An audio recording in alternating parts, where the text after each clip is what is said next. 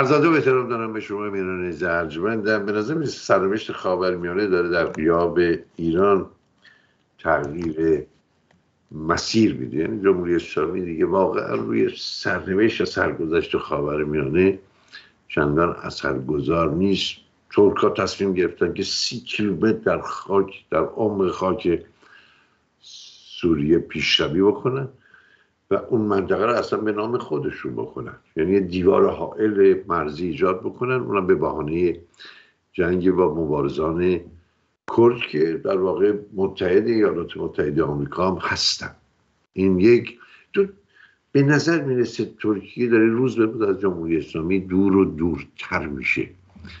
نیازش بود به حضور ایرانی ها در ترکیه و و مشروع کردن این مجموعه اندوخته های ارزی ایرانی ها برای آمدن به ترکیه و خرید ملک از این قبیل و واقعا موفق بود در این, کار. اما از زمانی که تصمیم گرفت درها رو به روی ایرانی ها باز بکنه دیگه اجازه عملیات تروریستی به جمهوری اسلامی نداده. این خیلی مهم. با کی هستیم؟ با حامد محمدی عزیز روزنامه‌نگار جوان. وقتی من با این روزنامه‌نگاران جوان صحبت می‌کنم متوجه میشم که اینها به گونه دیگه ابعاد قضایا رو می‌بینن که ما شاید نمی‌بینیم. یا شاید بهش آشنایی نداریم. به این علت که اینها در دامان انقلاب اسلامی بزرگ شدن. انقلاب اسلامی رو خوب می‌شناسن در اونجا زندگی کردن در اونجا کار کردن. و مسائب این حکومت رو با پوست و گوشت و استخوان حس کرد. حامد جان خوش آمدی. درود بر شما آقای میبودی. خسته نباشید. درود به بینندگان برنامه و همکاران فنی. حامد جان به نظر می‌رسه که دیگه جمهوری اسلامی اجازه پیدا نکرده در ترکیه دست به عملیات ترور گروگانگیری یا آدم رو بزن پیش از این دستش باز بود. می‌خوام ببینم این تعبیر درست یا خطاست؟ عوامل مختلفی دست به دست هم داد که تقریبا در دو سه سال گذشته سیاست های دولت ترکیه نسبت به عملیات ضد امنیتی جمهوری اسلامی در داخل خاک ترکیه تغییر پیدا بکنه. یک بخشیش مربوط به تاخت و تازهای بیش از حد نهادهای امنیتی جمهوری اسلامی بود. در واقع تمامیت ارزی ترکیه رو به خطر انداخته بود. یعنی انقدر افراط در این چراغ سبز نشان داد که به تدریج دولت ترکیه رو از آنچه که فکرشو می‌کرد حتی بیشتر به درد سر انداخت هم در داخل هم در زمینه سیاست های داخلی دولت اردوغان و هم در صحنه بین المللی به راحتی عوامل مختلفش از جمله آنهایی که در خود سیستم ترکیه هم در دستگاه غذایی نفوذ داشتن هم با کارتل های مواد مخدر اسلحه در ارتباط بودن و هم در آدم روبایی خبره بودن. از کشورهای مختلف نه فقط شهروندان ایرانی و ترکیه. حتی گزارش هایی بود از اینکه چینی ها بخشی از اعراب کمک دستگاه امنیتی می‌کردن و خب آدم روبایی فشار سرکوب دست درازی اینها رو مجبور شدن که تخته بکنند میت دستگاه اطلاعاتی ترکیه از یه جایی به بعد با کمک پلیس جلو اینها ایستاد. یک بخش دیگر از اینها مربوط می‌شد به اختلافات منطقه‌ای بین جمهوری اسلامی و دولت ترکیه.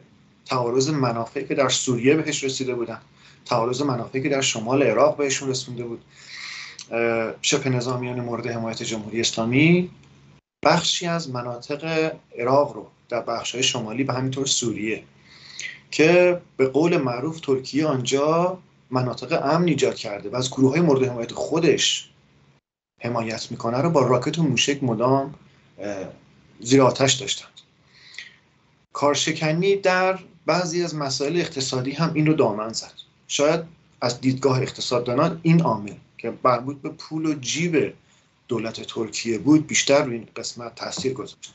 به عنوان مثال در حالی که دولت ترکیه روابط خودش رو با اسرائیل بهبود میبخشه به دنبال اینجاست که از نفت و گاز اقلیم کردستان عراق با کمک بخش خصوصی و همینطور تکنولوژی و سرمایه اسرائیل استفاده بکنه و اون رو منتقل بکنه شروع کردن به اخلاق. بله این پروژه به زیان جمهوری اسلامی بود. یعنی انتقال گاز از طریق اقلیم کردستان و ترکیه به اسرائیل برای منافع جمهوری اسلامی ضرر داشت.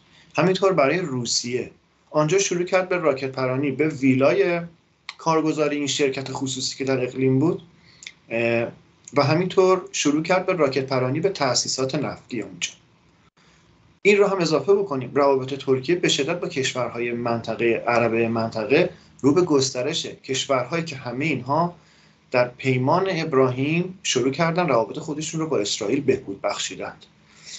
در واقع ترکیه احساس کرد اگر به جایی برسد که از این موج جدید منطقه که کشورها دارن هر کدومشون روابط خودشون رو با اسرائیل و همینطور با خودشون بهبود میبخشند و بچه مشترکشون دشمنی با جمهوری اسلامی است. عقب بماند از قائله اقتصادی عقب مونده. بنابراین شروع کرد به تغییراتی در رویکرد خودش با جمهوری اسلامی. مرز کشی کردن عدم اعتماد به پیمان امنیتی که در حدود سه چهار سال پیش بین جمهوری اسلامی و ترکیه در زمینه مرزی کشیده شده بود. و همینطور نظارت بیشتر به سرمایه های مشکوک و پروپیمانی که از داخل ایران سرازیر ترکیه میشه خب ترکیه سالیان درازی معمن امنی واسه سرمایه بود که از ایران خارج میشه و پشتشون نهادهای حاکمیتی چهره های فاسد مربوط به نظام بود. نظارت بر اینها رو بیشتر کرده. در واقع عرصه تاخت و تاز جمهوری اسلامی هم در عرصه نظامی هم در امنیتی و هم اقتصادی در ترکیه مقداری نسبت به گذشته تغییر کرد. جالبه. محمد محمدی عزیز هستیم. خب اما سیاست ترکیه و سیاست جمهوری اسلامی مقایسه بکنیم در قبال جنگ اوکراین. سیاست ترکیه متوازنه در عین حال ضدیت داره با جنگ. سیاست خیلی هوشمندانه در برابر ناتو. باز مخالفت هایی از سر از سر گرفتن امتیاز با پیوستن فنلاند مثلا به ناتو یا سوئد به ناتو. هم به قصد این بود که امتیازات بیشتری بگیره از کشورهای غربی. در این زمین هم خیلی موفق بوده. و همینطور ایجاد مناسبات خیلی نزدیک با اسرائیل. هیچ وقت مناسباتش با اسرائیل خط نکرد. در حالی که سیاست جمهوری اسلامی در برابر جنگ جنگ اوکراین یک سیاست کودن سیاست نشون میده که این هوا و یک پیرمرد بوده که به این سیاست شکل داده. منافع ایران درش به هیچ وجه لحاظ نشده. نه منافع تاریخی ما نه منافع ملی ما نه منافع کنونی ما. حتی جمهوری اسلامی در وقتی این سیاست ها رو اتخاذ کرد به خودش هم اندیشه نکرد. یعنی از درک تمیز و تشخیص منافع خودش هم نشون میده که عاجز بوده. می‌خوام در این زمینم توضیح بدید چون واقعا راه ترکیه از راه جمهوری اسلامی کاملا جدا شده با اینکه ترکیه روابط خیلی حسنه با آقای پوتین داشته. ولی منظره که امروز علاوه بر حفظ توازن و تعادل از سیاست خارجی ترکیه در اوکراین فعاله. همه ما می‌دونیم که پهپادهای خیلی مؤثر و و و نافذی در اختیار اوکراینی ها قرار داده که در جنگ ازش استفاده شد. یعنی اینجا هم در واقع موفق شد که روابط حسنی با اوکراینی ها ایجاد بکنه و باز کردن دروازه های ترکیه به روی پناهجویان اغلب مرفه اوکراینی. که اینم به نظرم خیلی به سود اقتصاد ترکیه تمام شد. در گوش. تغییری که دولت اردوغان کرد حتی برای خود کارشناسانی که داخل ترکیه راجع به دولت اردوغان نظر انتقادی داشتن هم غیر منتظره بودش. لابلای خطوط حالا رسانه هاشون چیزی که از تحلیلگراشون میشه بر اومد مسائل اقتصادی خیلی تاثیر داشت در اینکه خط مشی دولت اردوغان رو عوض بکنه. به ویژه بعد از کرونا اتاقهای فکر در دولت ترکیه به این نتیجه رسیدن که اقتصاد جهانی دچار تحول خواهد شد دچار گرفتاری های بیشتری خواهد شد. اتفاقا همین بحران خیلی زود به کشور ترکیه هم اثر گذاشت قیمت لیر نسبت به ارزهای خارجی افت شدیدی کردش. به نوع یک شاید سیلی در گوش مقامات ترکیه بود برای تغییر سیاست هاشون اصل اول برای بهبود وضعیت اقتصادی جلوگیری از شوکها و تکانه های ناشی از تحولات بین المللی است. که در گروه بهبود روابط با دولت است که وضعیت اقتصادی بهتری دارند. یا می توانند در شرایط سخت متحدان بهتری باشند. مثلا در زمینه سرمایه گذاری کشورهای عربی منطقه اسرائیل و همینطور امریکا کشورهایی بودند که دیگه خدمات بهتر و قابل توجه تری در زمینه اقتصادی تکنولوژی یا سرمایه گذاری یا حتی امنیتی می توانستن به ترکیه بدن نسبت به متحد پیشین خودش روسیه و همینطور ارتباطاتی که با ایران برقرار کرده بود. در واقع با یک نگاه عاقلانه برعکس آن استراتژی محتوم به شکست جمهوری اسلامی که نگاه به شرق و گذاشتن تمام تخم مرغ‌ها در سبد پوتین و چینی ها بود یک نگاه استراتژیک داشت اردوغان در این قضايا در واقع هم استقلال ترکیه را حفظ کرد. هم قامت ترکیه به عنوان یک کشور مستقل رو به سطحی برد که در پای میز ناتو شروع کرد به بدبستان و گرفتن امتیاز در کشورهای قدرتمند اسکاندیناوی. اینکه چالش های تاریخی رو همون چیزهایی که مثلا در ناتو داشت با این کشورهای شمالی کشورهای شمال اروپا در مورد مناقشه با کردها. این رو به یک کارت برای منافع ترکیه تبدیل کردن کار آسانی نبود. از ناتو این بهره برداری رو کرد. جذب سرمایه هایی که از اوکراین خارج شده بود و می‌خواست به جاهای امن بره. جذب سرمایه هایی که از روسیه خارج شده بود و به جای امن می‌خواست بره زیرساخت نیاز بود. این زیرساخت ها در ترکیه مهیا بود. روابط شرکت ها برقرار بود. کشور دچار خط قرمز نشده بود و فقط اینها رو اصلاح و گرد و خاک و با یه مقداری تعدیل سیاست ها به این وضعیتش انداخت. اگر غیر از این این کار کرده بود الان وضعیت اقتصادی ترکیه چیزی شبیه ایران شده بود. حتی با وجود اینکه روابط بین بانکی روابط تجاری ترکیه با غرب برقرار بود تکانه های اقتصادی بسیار از کشورها تحت تاثیر قرار بده کمبود مواد غذایی اینها. درسته در تمام دنیا قیمت الان رفته بالا در ترکیه هم همینطور. در ایران هم همینطور. ولی نارضایتی که در بین مردم ایران هرگز قابل مقایسه با اون چیزی که در ترکیه است نیست. دست کم مردم با درک شرایطی که کشورشون در آن هستش انعطاف بیشتری نسبت به حکومتشون نشان میدن حتی با وجودی که دل خوشی از سیاست های اردوغان به ویژه در زمینه مذهبی ندارند. ولی هرگز مردم ایران این تحمل رو ندارن. چرا؟ چون به حاکمانشون اعتماد ندارن. چون وعده و وحیده ها رو که می‌بینن قول هایی رو که می‌بینن آن چیزهایی که شناختن 43 چهار سال در گوششان هست. هیچ نتیجه هم نداد. به این خاطر کمترین میزان اعتراضات در بین کشورهایی که شبیه ایران بودن در ترکیه اتفاق افتاد. کارنامه بسیار خوبی بود. وقتی که دولت های غربی می‌بینن یک کشور آسیایی با وجود امکانات کم با وجودی که ساختار سیاسی استانداردی نسبت به کشورهای دموکرات ندارد اینجوری می‌تونه وزن بازی کنه خب اقبال اونها بیشتر میشه. بنابراین کنفرانس هایی که برای اوکراین تشکیل میشه اغلب در ترکیه است نقش میانجیگری رو اردوغان بازی می‌کنه با کشورهای اروپایی رابطه بسیار بهتری داره. الان بحث اینجاست که بیان سرمایه های عربی رو در کشور ترکیه بریزن در بخش های مختلف.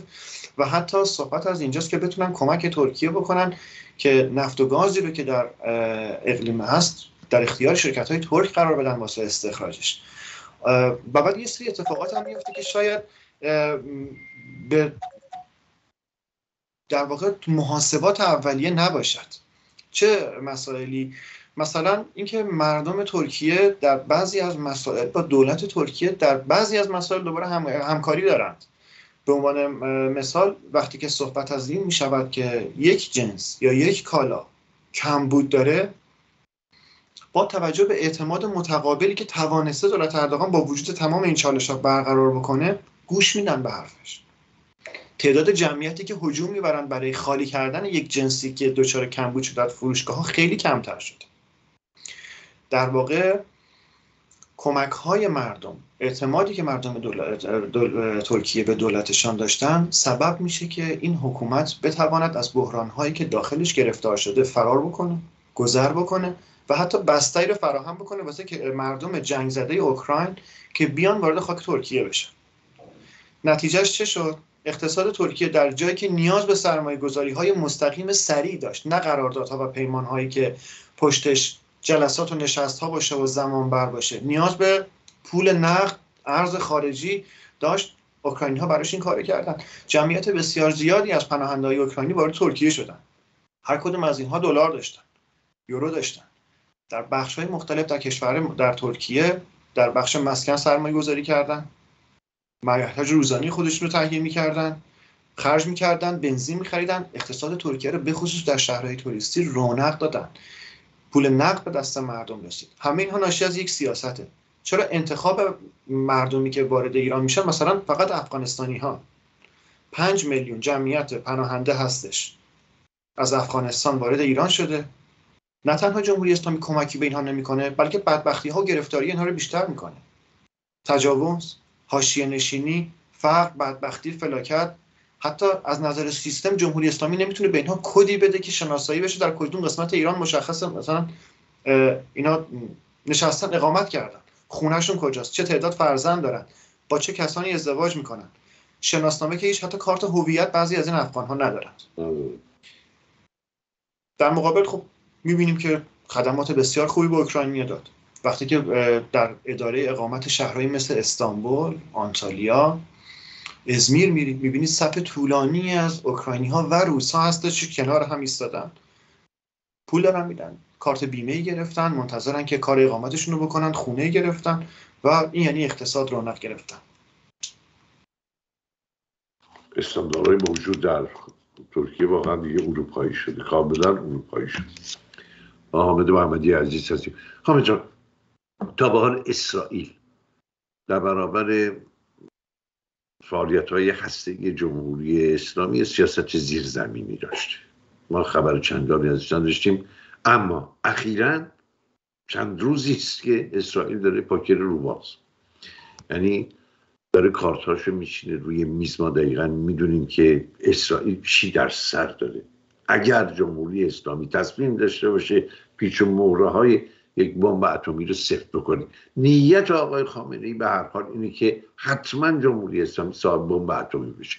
دیگه این بر همه مخلص شد تمام تلاش پنهانی اینها در تمام این سالها به ویژه ماهای اخیر بر همین مبنا تولید بمب اتمی این تنها چیزی است که آقای خامنه ای رو راضی و خرسند می‌کنه که اگر از این دنیا میره بالاخره مبده و مبتکر تولید بمب بوده در یک کشور شیعی.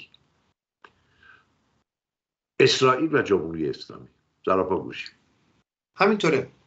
شاید کمتر از سه چهار ماهه که سیاست های اسرائیل شدت گرفته سیاستی باشه که قبلا زیرزمینی کار می‌کردن.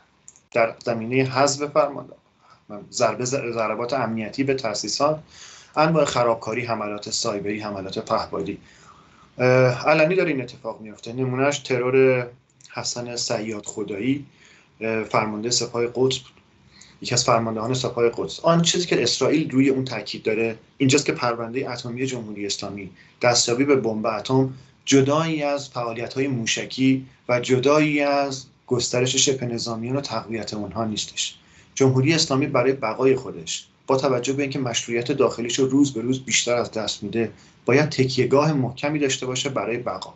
اون تکیهگاه رو نه در مردم نه در رفاه نه در آسایش نه در دیپلماسی بلکه در داشتن بمب اتم و شبکه‌ای از تروریست ها دیدن. داخل پرانتز یک یادآوری لازمه. با عباس دوانی رئیس سازمان انرژی اتمی سابق و یکی از نمایندگان فعلی مجلس هم صحبت کردن راجع به فعالیتی که فخری زاده می‌کرد. مستقیم و علنی گفت علیرغم فتوایی که آقای خامنه ای داده ایشون سیستم نظامی رو ایجاد کرده. یک دلیل زیادی هم یک دلیل موجهی هم براش آورد. گفت این فقط مسئله دفاع امنیت جمهوری اسلامی نیستش. ما در منطقه شبکه ای از مقاومت رو داریم که این بمب اتم پشتوانه آنها هم هست. من نقل مضمون می‌کنم.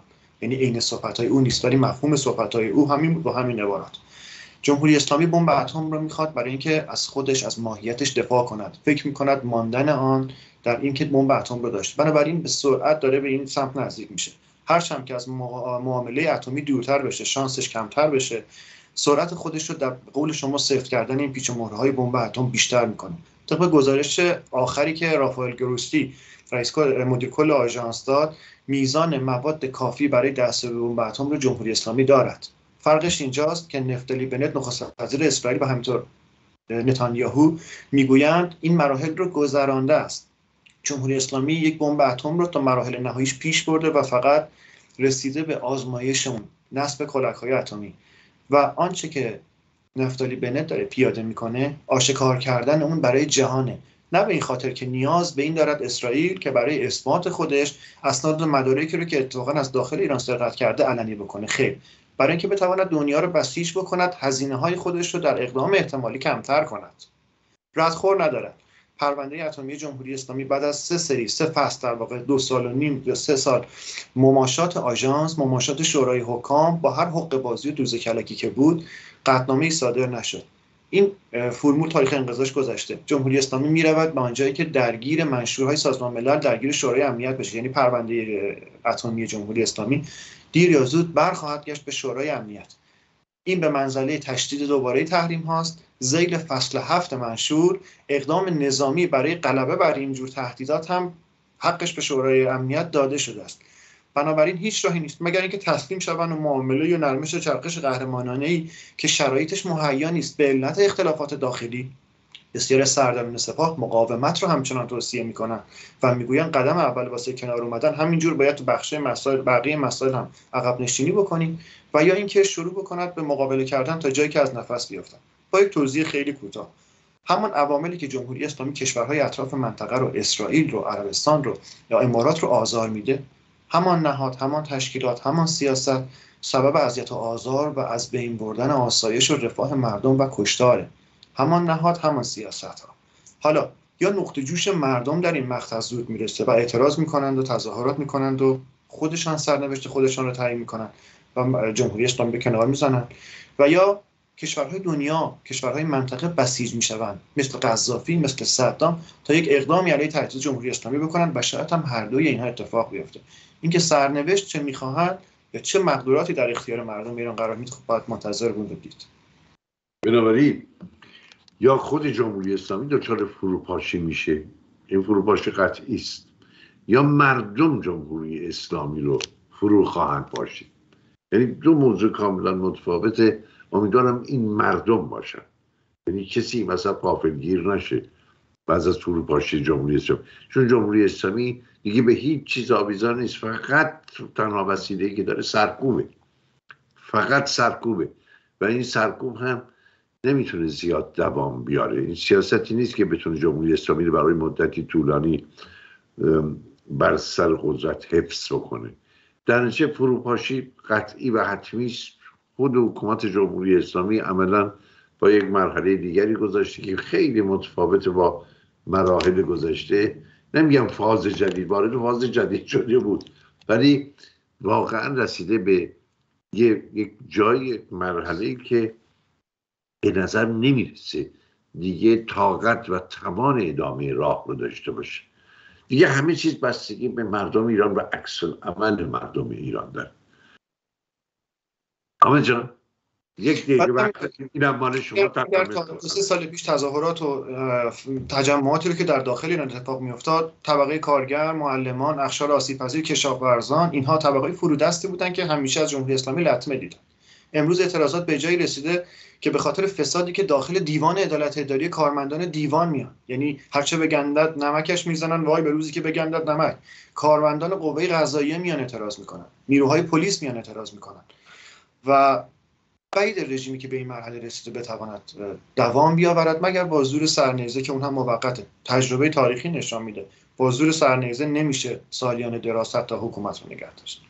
تشکر می‌کنم محمد عزیز. سپاسگزارم رضا کیان برنامه رو اداره کرد. ممنونم. همینطور از شما که ما رو همراهی می‌کنید. بدون شما واقعا رسانه بی معناست فقط شما هستید که به یک رسانه معنا ممنون.